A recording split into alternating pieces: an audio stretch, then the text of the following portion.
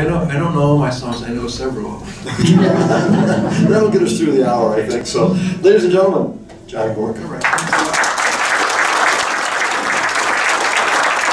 I always sit when I play, but I figured with the the technical reasons, I would just stay in one place rather than uh, get up and do the, you know, the uh, interpretive dance versions of my songs. This is a, a song I wrote with uh, Pete Kennedy of the duo The Kennedys. Uh, Pete came up with the title, and uh, we collaborated collaborated on the lyrics over the internet. And I came up with the tune and, and, the chords. I ran the chords by him, and, and he said they were okay. It's uh, a song, a song that goes out to the truth. The truth uh, uh, might be having some trouble these days, so uh, it's a song called "True in Time."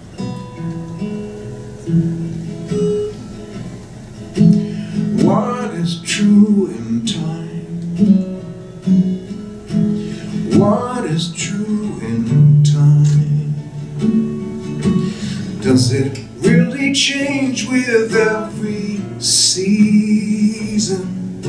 Or is it always fixed and bound to reason? What is true in time? What is true in time? And the words I used to think were mine to me in another's lines. Yesterday comes back in rhyme Yesterday comes back in rhyme Yes, I look around and often find The past is either here or close behind I look ahead and I could swear there was a path, now nothing's there.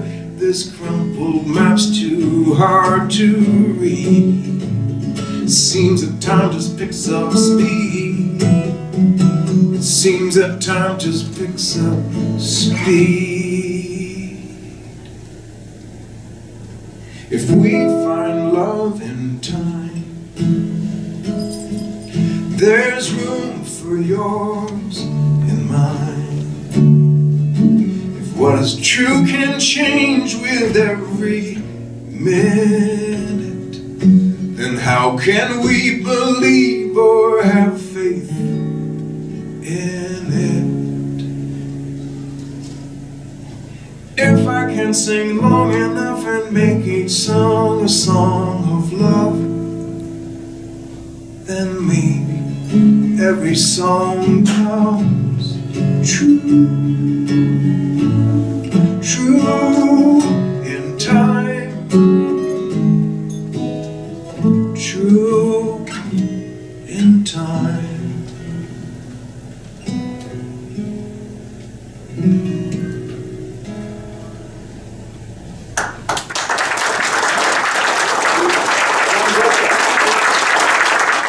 gracefully, but it didn't work out, so I got this instead. So, you mentioned Scrapple in the song I learned about Scrapple in Pennsylvania. I described it as a pork-based breakfast meat. So I figured it'd be gourmet types here.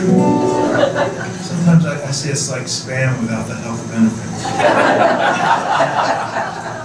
I live in Minnesota where they make spam, but I learned about the uh, Scrapple in Pennsylvania. And I've been to the Spam Museum in, uh, in, uh, in Minnesota. I've been to, played at the Spam Festival in, uh, in Austin, Texas, the sister city of Austin, Minnesota. And I've been to the, the, Spam Museum, I've been to the original one, and also to the new one downtown. You gotta go, you gotta put it on your list. this is, there's no Spam in this, just a little Scrapple. And there is no Scrapple Museum as of yet. I started a, a Go Fund Yourself campaign to raise money for a Scrapple Museum, but it's not well anti-social media. There's no, just a little scrap on the song, listen for it. My age. People my age started looking gross. I cannot sing all, and I shouldn't sing most. I've seen them in the grocery, seen them up close. People my age started looking gross. Ooh.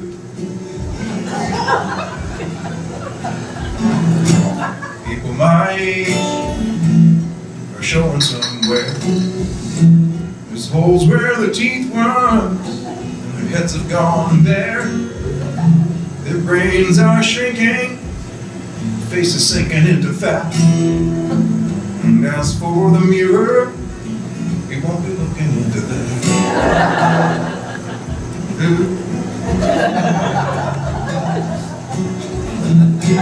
People my age have started looking gross. Maybe not in Colorado or up the Silicon Coast. Back in Pennsylvania, I'd eat scrapple on toast. Those were my first steps on the road to looking gross. Ooh.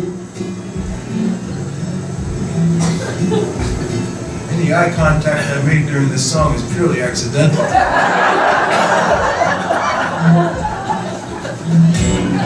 My are looking overrun.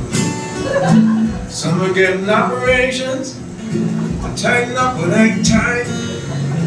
What gravity's ruined, they try to fix with a knife. What's pleasant in the darkness is plain scary in the light.